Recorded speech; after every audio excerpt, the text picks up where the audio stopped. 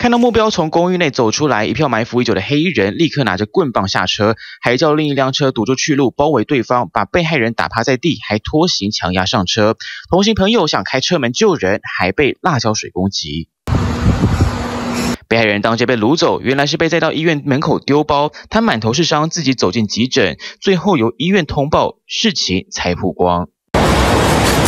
三十一岁张姓主嫌和两名小弟事后落网，他宣称被害人欠他赌债才会撂人讨钱。至于另外两名小弟，只是当天在场，两辆轿车的车主也躲不了。但警方不排除背后有帮派，他们只是受到委托前往讨债。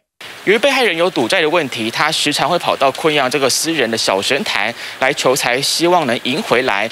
没有想到，因为太过频繁，行踪反而被对方掌握。南港这个私人小神坛外传在求财方面特别灵验，但因为隐藏在公寓楼上，连附近邻居都很少听说。联系被害人疑似玩网络签赌，欠下赌债高达一百八十万，才会三不五时就来拜拜。奇怪的是，他现在伤成这样，却始终坚持不提够，难道是有把柄在对方手上吗？经初步调查厘清，为债务纠纷所致。